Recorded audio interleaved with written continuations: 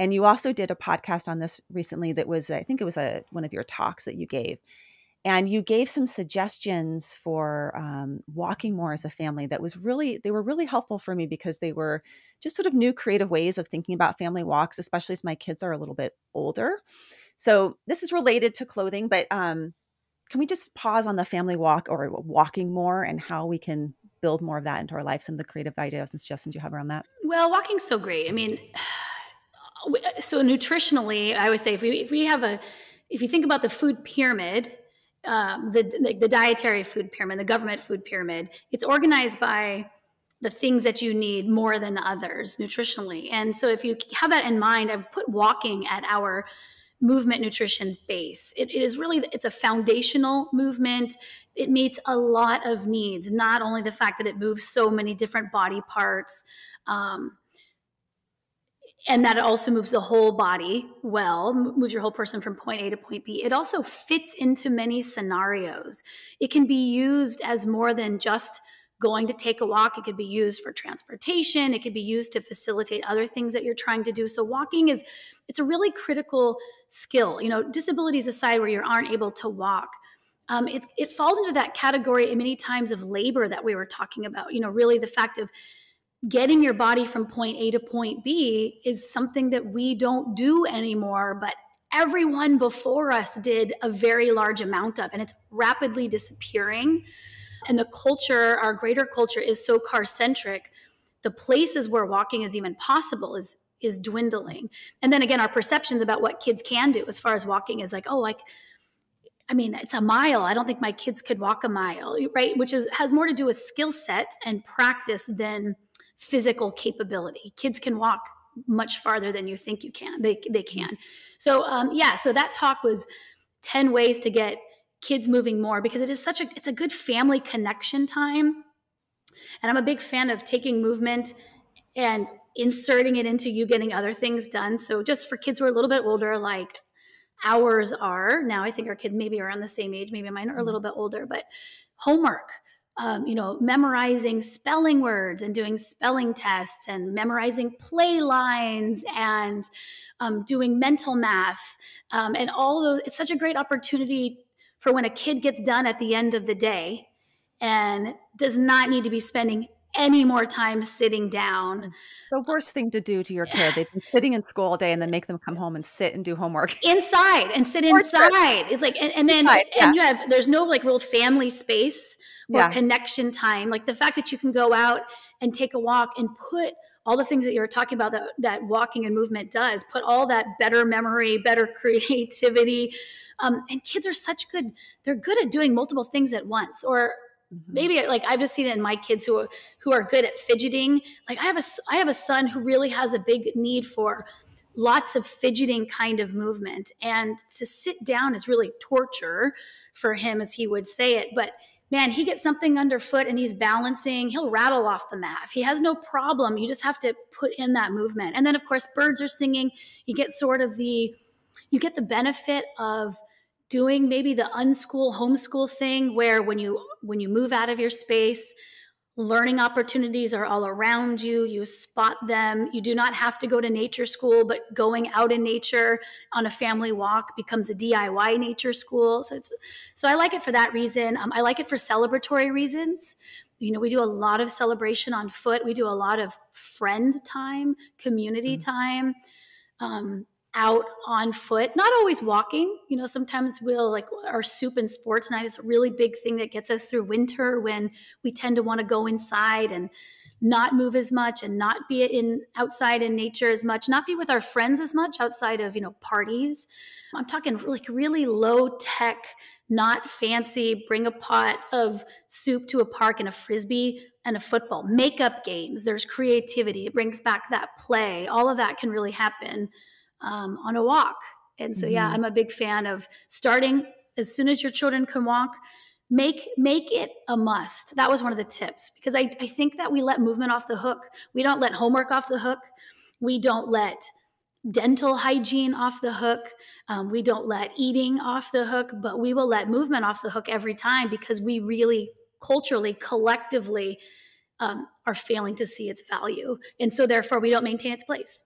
I loved how you said in that episode you talked about expecting the whine oh, and yeah. moving through the whine. Right. And I think that's the case for when we're working with kids. They're go- they're going to whine the first, you know, and then they kind of get over it, right? But then also we we might whine if we're taking ourselves for a walk. Like we can even expect ourselves to whine. Like I don't want to. I'm too tired. I kind of it's like easier just to relax in my home and it's it's too much effort. But we can expect the whine from ourselves we can expect the whine from our children and you just move through it and then what happens is this like there's this shift in momentum where it's like you can't you succumb to the walk because it starts feeling good you can't yeah. you can't deny it like you just start to feel better you start to get a, a broader perspective all that blood flow to your brain um, and the connection to nature there's um, little things that I think that are that are better for your mental health, and um, especially at the end of the day, than going for a walk. And one of the the tip you said at the end of your episode to take one away, the one that you're going to take away, and the one that I loved from you was the one way walk. Like have a parent. be best. at one side and drop the car and you're and the parent that needs more exercise gets to like sprint back or jog back or whatever to the family as the family just walks one way to get to the destination. And then there's no turning around. It's no. just sort of like you're going somewhere, whether it's the ice cream shop or the um, library or whatever it is, getting there um, is the is really the goal, which I think evolutionarily fits our walking needs. We're not meant to walk in circles. We're meant to walk to go to something. yeah, it, and and that really that changed everything, especially when we had really young children. Like we would for our evening activity, we'd be out for you know two and a half hours, three hours. I would pack up dinner. You know, don't feel compelled to have to eat all of your meals sitting down in your house. I mean, yeah. they're portable. Food is portable. Humans have always eaten on the move.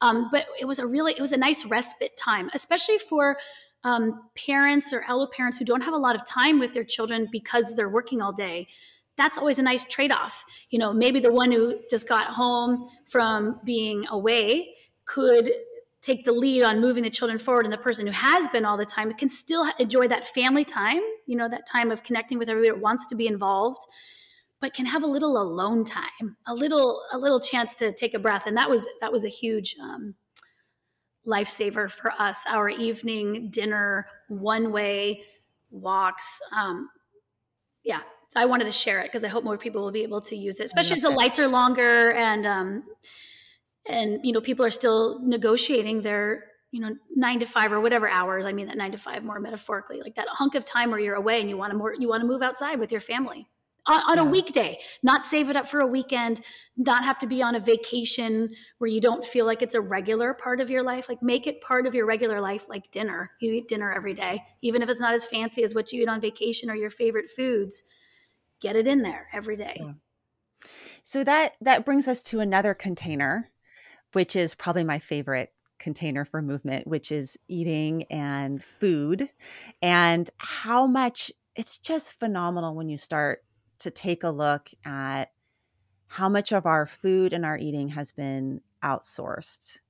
Um, everything from you know not growing our food anymore to even just not making our food or just these subtle ways in which we're, we're kind of not making our food so we're not you know whipping things or we're not chopping things we're not grinding things and the packaging of things and that's something that has brought so much richness to my family life and my my partnership with my with my husband is making food together. Mm. and it's it's just culturally i think it's part of our heritage it's part of our ancestry and it's getting lost. And in it is also getting lost sort of these fine motor skills and these digging and these reaching all these other movements as well. Yeah i mean that's my favorite chapter um, the food container because because when you look at why humans move getting food is the number one reason you know um, it's it's the primary and this was i brought this up in a Move Your DNA it's like the relationship between moving and eating is direct with really movement being first. Like you wake up and you're the only reason you really do need to move is because there's something out there that you need to get and we've just gotten rid of the need. So it's you can talk about all the ways we get food from the, on the first level, growing it, you know, having a garden or, or foraging it, you know, you know, it is not always agricultural based, but, but then, um, there's just been again that steady decline that we talked about where food has just become uh, both hyper palatable in the dietary nutrition sense but also hyper palatable in the movement sense where it's all just like hitting some simple pleasure button no work required. I mean and, and with the pandemic well people you know were swiping more for their food including even the groceries. People weren't even walking into the store to get the groceries that were grown someplace else. So we've had another steadily de- steady decline just here again a big jump. And mm-hmm. um, it's rich. It's celebratory. It's knowledge. It's learning. It's all of the things. You know again um, food and movement are the axis for culture. Um, right? Like we don't we i mean we have a very strong food culture. It just looks like what ours looks like which is much different than all the other very strong food movement cultural axes that were about what was going on in nature the natural rhythms you know the the cyclicness cycle the cyclicness of food and what comes and when and your knowledge of just the environment or landscape that you are in. So when you go towards making your own food it doesn't have to be all the way to that axis of like what's in season. You know like what you, you're harvesting apples and oranges and nuts and you start to learn what those rhythms are. But could it could be as simple as picking out an old family recipe and just doing the work from scratch to make that recipe. It doesn't have to be about in season or even have the nature connection. It can have a familial or uh, your own particular culture, your heritage, heritage of where you come from. It can be a great thing to bring into your family. And then, um, yeah, we'll talk about celebrations when we get to the celebration container. But I find that that's a really great way to center all celebrations. Is around yeah. what are we eating for it.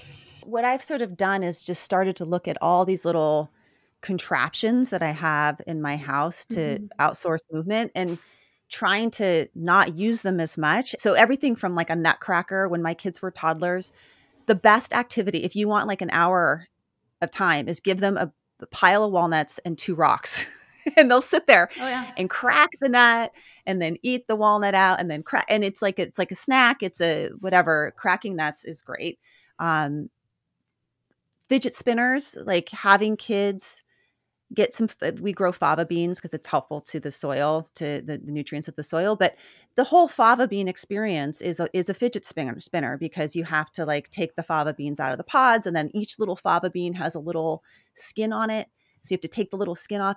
All these things that could just be a fun activity. You talk to your kid while you shell fava beans. I mean it's at that level i feel like it's family time it's making food time it's movement time but what people will say is that takes too much time.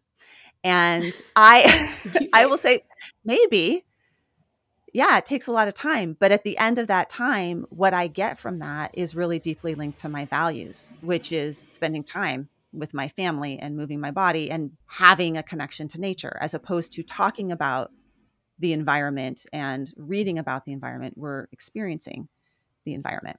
And that's great to do with um, older people too. I mean, like I grew up cracking nuts as a young child, like your young children are, but my parents weren't there doing it with me.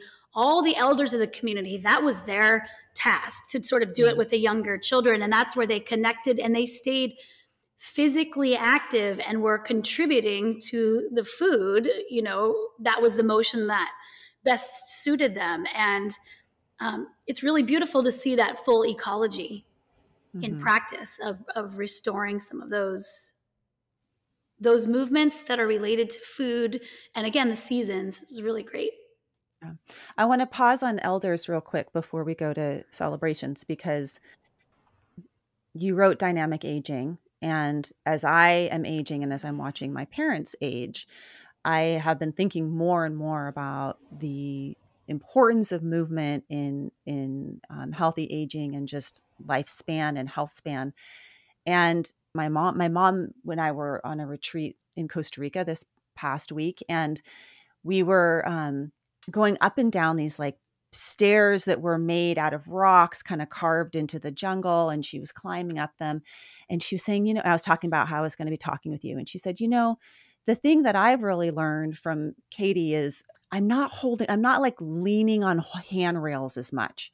I'm trying to see if my body can get up the stair without using the handrail to get up because here I, here she, there were no handrails in Costa Rica.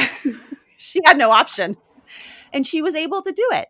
Um, and she was able to, in the yoga class that we talked, that we took, lie on her back and reach her feet and grab a hold of her feet in like a happy baby pose. I looked over and I was like, "Oh, my mom can reach her feet." That's that's such a good sign that I've heard you talk about too. Like these things that actually mean something later on when you need to take care of your feet as you're aging and and it can actually cause a lot of problems if you can't.